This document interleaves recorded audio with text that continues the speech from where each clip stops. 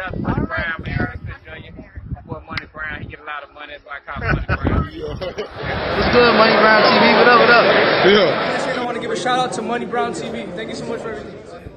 Yo, yo, yo, what's going on out the fight? Well, this your boy Money back with another one, man. And this one here is on the unified welterweight world champion, Earl the Truth Spence Jr., aka the Big Fish, aka Mr. Man Down around this motherfucker, aka Big EJ, aka the pay-per-view. Let me chill out. Nah, though, this one here is on EJ, man. He um came out with his hit list, bro. He came out with his hit list, and on this hit list. He had the man that he's about to face December the 5th, Danny Swift Garcia. He had the legend himself, Manny Pac-Man Pacquiao. And he had the three division world champion and the current WBO world champion and arguably the number one pound for pound fighter in the world, Terrence Bud Crawford, all in a row. You understand? Earl came out and told us, you know, these are the three people that's on this hit list. And these are the three people that he's going after. You know, he said, fuck Keith Thurman. He lived in the fantasy world before he get a fight. You know, he better come and do some amazing shit because he try to, you know, keep him out of the loop. You know what I mean? You know, it, all three try to keep him out of the loop with, with Danny, Sean, and Keith. But Keith, you know, being the number one guy, you know what I mean? He rubbed Earl the wrong way the most. Let's just say the most. But let's talk about this hit list EJ got out, bro. And I respect it. You know what I mean? I respect it. Danny Garcia was already in plans for January uh, of um, this year, but we all know what happened with the with the car crash and shit like that. So that's that put EJ back and set him back. So he came back and took Danny Garcia right away, sticking to his blueprint. You know, everybody get pissed off because Bud Crawford is not next. And not saying he can't be next, but not next up on EJ hit list. He had Manny Pac-Man Pacquiao, which nobody can get mad at. I'm gonna repeat again. Nobody could get mad at because we all know if Pacquiao pick up that phone and call you, you better accept that fucking fight. And that goes for Earl, Danny, um, Bud, Thurman, Porter, Ugas. You understand? Even if he called the fucking Jaron Boots Ennis, anybody better accept that fight if Manny Pacquiao call you. You know? So EJ looked at Manny Pacquiao, said he want Pacquiao, who the current um, WBA super welterweight world champion, and holds one of the pieces to undisputed. And we all know EJ said he wanted to be undisputed. You know that's his main goal at 147. You know he want to get um, he want to make history. You feel me? And, and, and making history, you need that scrap from Manny Pacquiao. And not only that, you'll be beat a A division world champion. You know one of the greatest of all times to ever lace him up. And Manny Pacquiao, you know a future Hall of Famer. So that's going down in the history books.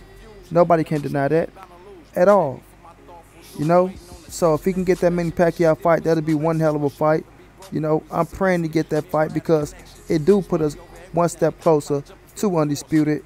Assuming Earl get past Danny Garcia, because anything can happen in boxing. But you know, I got Earl beating the shit out of Danny Garcia. But anything can happen. We just don't know. You know? You know, so that's why I said assume to get past Danny Garcia. But if he can get the Manny Pacquiao fight, I'm going to praise that fight. I'm going to give Manny credit for stepping up to the plate and taking on, you know, the big fish and EJ. You know, the number one cat at 147 pounds and soon to be the number one pound for pound fighter in the world. I'm going to give him praises for that. You feel me? And after Manny comes the fight that everybody wants to see.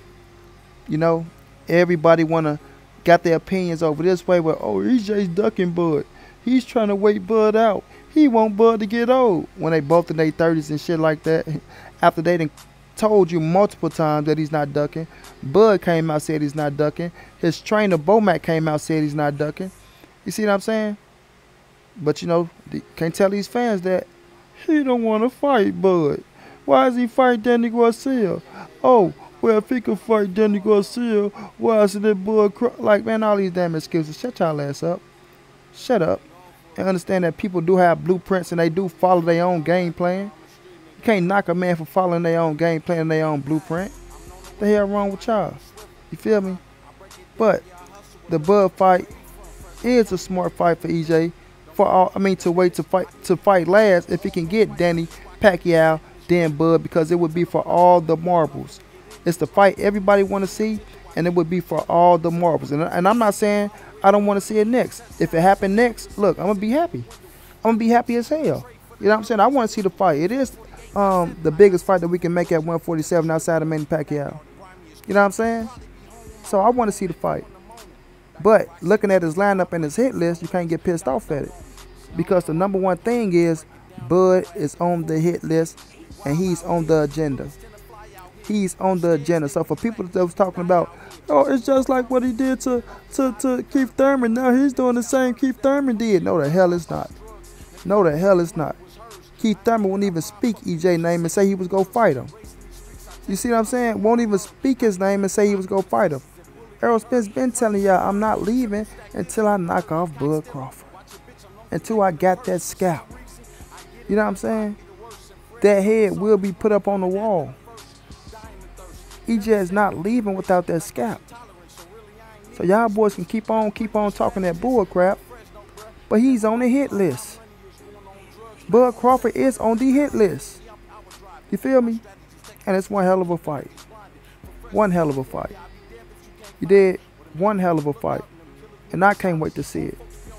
Because Bud got all the accolades, I mean, all the tools in, in, in his toolbox to hang with EJ. That's a fact. Can't deny that. Hell of a fighter. Switch hitter. One of the best since Marvin Hagler. If not the best. You feel me? Hard puncher. Can fight going backwards. Can fight going forwards. Can fight going side to side. Can bang in the inside. Got defense. Good leg movement. Dude possess all the attributes. All the attributes. Got the heart. You know what I'm saying? Got the heart. But with that being said, EJ possesses everything as well. Everything as well. You feel me? Now he's a dog. That grit in him. That will to win. That will to win. You understand? It ain't gonna come down to the, it's, it's not gonna come down to the size between Bud Crawford and Earl Spence. It's gonna come down to that willpower and that grit. And I do believe Earl Spence got more grit than Terrence Bud Crawford. I believe that. I believe that. And I feel like that's what's gonna push through and that's what's gonna win EJ that fight against Bud. With the body work. With the body work. But the grit and the will and the determination to not take no for an answer. You know? Bud got it in him as well. I'm not gonna say Bud ain't got that in him. But I'm gonna say EJ got more of it. You know what I'm saying? He got more of it. You know, both of these dudes been faced with adversity. They both been faced with adversity. You know what I mean? So it's not it's gonna take something different for one of them to pull this fucking fight out. And I think it's the grit. When it's when, when when shit goes out the window and it's time to bite down and go, I think EJ got more of that in him. And I feel like that's gonna overdo Terrence Bud Crawford in a hell of a fight. A hell of a fight. You know what I mean? They might hurt each other in the fight. But when it come down to the end, I see EJ hand being raised just like it is now. You understand? Just like it is now. So to all y'all cats out there that keep talking about he's ducking, all you naysayers, we don't know if Earl the same anymore. He's been in a car accident. A lot, a lot, a lot, a lot, a lot, a lot. Man, that shit been a whole year ago. A year or something. Year and some change to be exact. So stop playing with my G, man. Stop playing with gangsters. Get y'all facts right. And stop going off feelings and emotions. You know what I mean? Stop going off of feelings and emotions. No. Speak on real common sense and logic. Now, will he have a little ring rust going into this fight against Danny? I believe he will. You know what I mean? Once that bell go ding ding and get into the real fire. We know the real fire is different than spawn. But after two or three rounds, EJ will be back. He will be back and he will start heating up. If he ain't already back in the first and second. You understand? This is just what I'm thinking. But he can go in that motherfucker and very well be ready. He already said he's sharp as a attacks. You know what I mean? He's sharp as attack. You know? So we will find out December the 5th. But this is Earl Spence hit list, everyone. Danny Garcia, Manny Pacquiao, Terrence Bud Crawford. The man ain't running from no smoke. None whatsoever. Chasing the best. Daring to be great. You know? And in my eyes, the man will succeed at whatever he do and whomever he chase after. Cause he that damn good. He's that damn good. You know what I'm saying? If he was beating these boys not 100%, think how he gonna be when he is 100%. I repeat, if he was beating these boys when he wasn't 100%, think how he gonna be when he is 100%. And I'm gonna leave it there. Shouts out to ESJ. Shouts out to Brian Custer for one hell of an interview. You understand what, I mean, um, what I'm saying? And he's coming, dog. He's coming. You know, he's coming. And it ain't gonna be nothing to stop him. Until then, this your boy Monty. This the ANSBC. Moving nobody safe in these streets. Hit them thumbs up, subscribe to the channel if you want to donate. OG Money on Cash App. TreyHafter52 at gmail.com on PayPal. If you can't, tell a friend and tell a friend. Hit the subscribe button. Like, comment, share the video. And y'all know what it is.